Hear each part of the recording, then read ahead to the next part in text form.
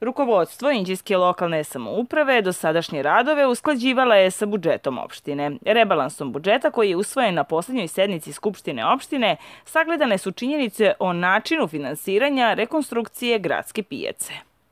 Jedna od ključnih stvari e, svakako za rebalans jeste način finansiranja izgradnje gradske pijace, jer morali smo da predvidimo mogućnost finansiranja iz nekih e, drugih izvora, dakle sa one pozicije 0,7 koje nisu samo direktna budžetska budžetska sredstva i to je nešto što ako uspemo da uradimo na taj način definitivno omogućava da krenemo odmah sa gradnjom. Sa druge strane imamo nekoliko važnih tačaka, rekao sam već pre neki dan da preko 40 dana nam je onemogućeno raspisivanje javne nabavke zbog novog načina tumačenja zakona o javnoj svojini, gde kaže da ponovo, iako je već usvojeno, ponovo i veće i Skupština moraju da donesu odluku jer se radi o pribavljanju imovine za gradnju vrtića. Rebalans budžeta usvojen je jednoglasno, a prema rečima predsednika Skupštine opštine, rebalans je morao biti urađen nakon što je utvrđeno šta od planiranih radova nije bilo moguće sprovesti u ovom trenutku.